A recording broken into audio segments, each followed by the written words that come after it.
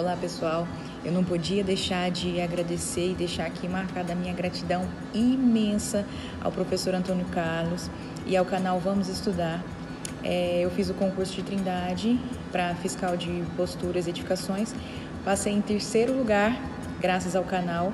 Então eu queria falar para vocês, acreditem e sigam o que o professor está falando, porque o que ele fala cai de verdade. Estudem, assistam os vídeos que vocês não vão errar.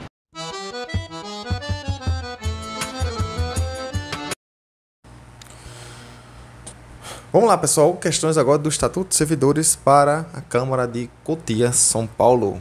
Mais um bloco de questões aí, né? Seguindo, vamos lá adiante. Para adquirir os PDFs, tá? É, falar comigo nesse WhatsApp que está na sua tela. Eu, por enquanto, estão questões do regime interno. Não, da lei orgânica, tá? Da lei orgânica e da lei e da Lei 07 de Cotia, ok? Os materiais estão disponíveis nesse contato aqui. É a única plataforma que eu vejo os materiais, pessoal, é o PDF, tá? Não se preocupe, vocês falam diretamente comigo ou com minha esposa no máximo, tá? A nomeação consiste em ato de provimento originário e facear. 1. Um, em caráter efetivo, quando se tratar de cargo de carreira ou isolado de provimento efetivo. B. Em comissão, quando se tratar de cargo que, em virtude de lei, assim deva ser provido. Marque V para verdadeiro, o F para falso. Letra A, verdadeiro e verdadeiro B. Verdadeiro e falso, C. Falso, verdadeiro, o D, falso e falso.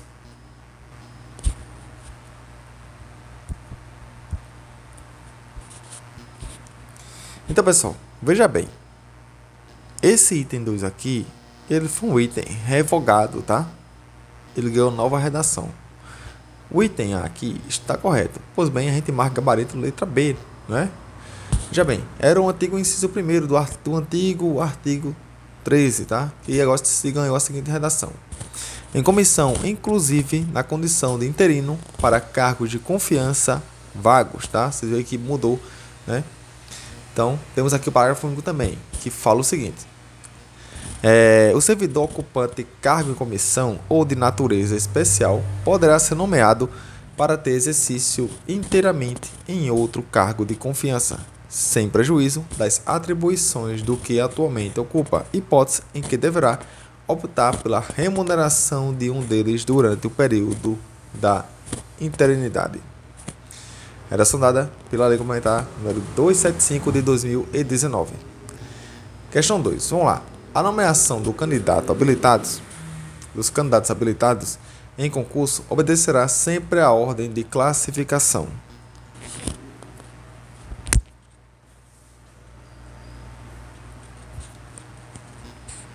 Pessoal, vou dizer a vocês que esse item está errado, tá? Por que está errado? Porque também foi revogado, certo? A nova redação do artigo 14 é a seguinte: a nomeação para cargo de carreira ou cargo isolado de provimento efetivo depende de prévia habilitação em concurso de provas ou de provas e títulos obedecidas à ordem de classificação e o prazo de sua validade. Mais uma vez, pela mesma lei complementar de 2019. Questão de número 3. Adquire estabilidade após dois anos de efetivo de exercício, o funcionário nomeado para concurso público. Certo ou errado?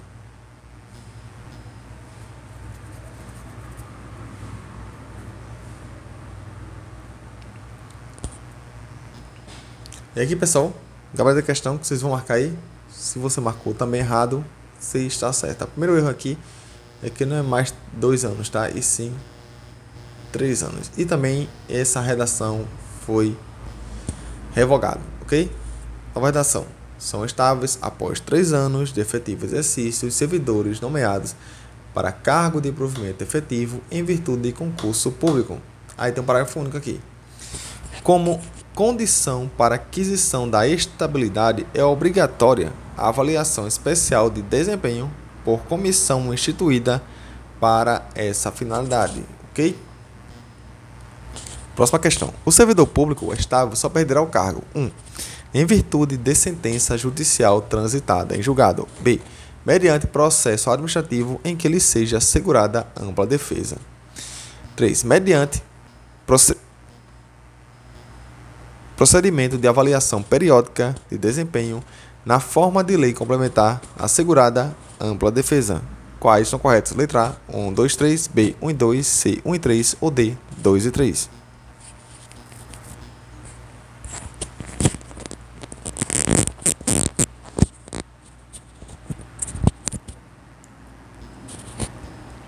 Gabarito da questão, pessoal, é a letra A. Todas estão corretas, tá? Temos o artigo 16 da sua lei. E agora vamos partir para a nossa próxima questão e a nossa penúltima. Posse é o ato pelo qual a pessoa é investida em cargo público, certo ou errado?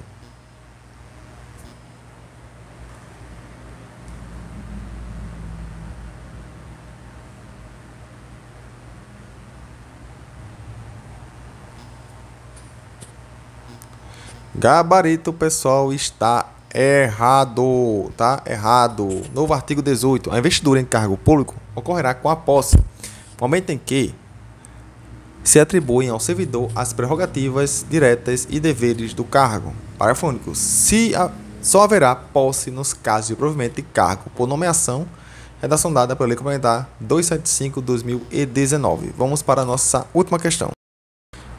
Vamos lá, pessoal, nossa última questão de hoje, tá? A posse dá-se-á pela assinatura do respectivo termo pelo qual o servidor se compromete a observar fielmente os deveres e atribuições do cargo, bem como as exigências deste estatuto. 1. Um, na ocasião da posse, o funcionário declarará se exerce ou não outro cargo ou função pública remunerada, tá? Desculpa. Inclusive empregada em outras autarquias, empresas públicas e sociedades de economia mista. Item 2 no ato da posse, o servidor apresentará declaração de bens e valores que constituem seu patrimônio. E o 3. No momento da posse, deverá a autoridade competente verificar se o servidor cumpre com as condições e requisitos legais para investidura no cargo. Quais são corretas? Letra A, 1, 2, 3, B, 1 e 2, C, 1 e 3 ou D, 2 e 3.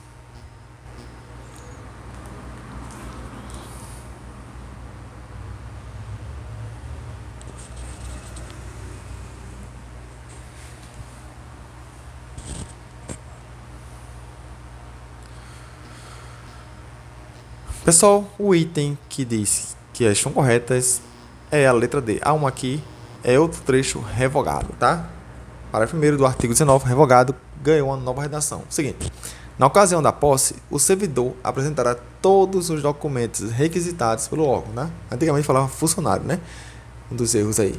É o seguinte: pelo órgão de recursos humanos e declarará se exerce ou não outro cargo, emprego ou função pública remunerada, inclusive em autarquias, fundações públicas, empresas públicas e sociedade economista. Bem, ele fez uma releitura, acrescentou mais informações, trocou uma palavra e outra e deixou aquele trecho incorreto, tá?